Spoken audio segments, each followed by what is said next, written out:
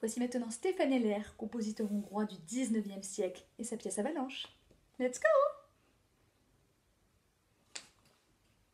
go!